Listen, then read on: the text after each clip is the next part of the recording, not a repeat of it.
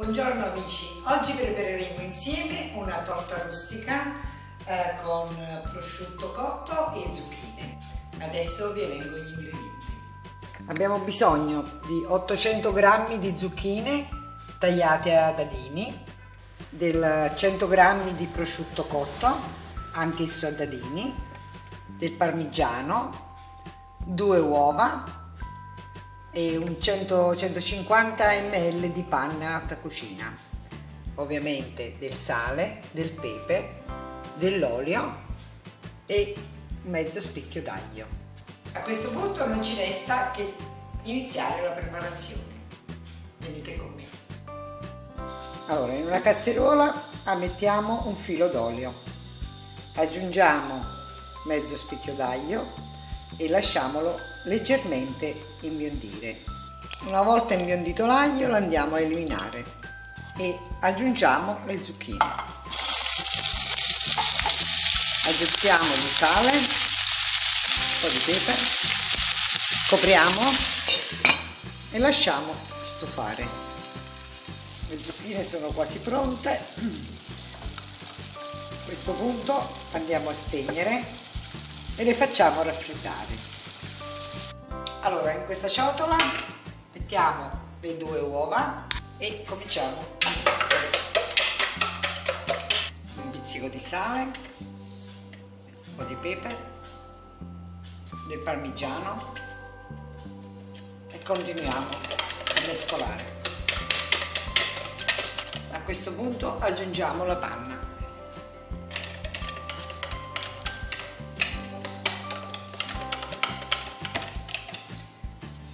Adesso le zucchine. Prosciutto cotto. Le andiamo a amalgamare. Aggiungiamo un altro po' di formaggio. E il nostro impasto è pronto.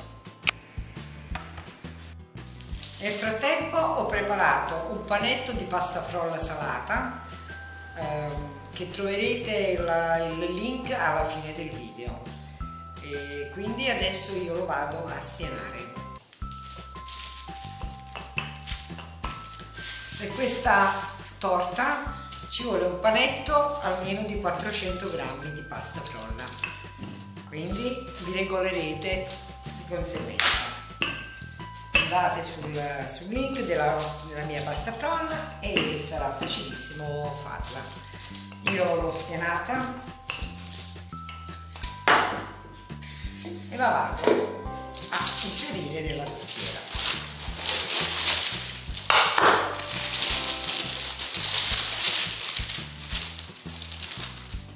A questo punto vado a incorporare il nostro composto. Abbasso i bordi della torta e la nostra torta è pronta per essere infornata 180 gradi per 40 minuti. Amici, la nostra torta salata è pronta. Amici, spero che questa ricetta sia stata di vostro gradimento, vi aspetto alla prossima. Un like al video, iscrivetevi al canale e se volete commentate. Vi do l'appuntamento alla prossima ricetta. Un abbraccio e un grazie a tutti.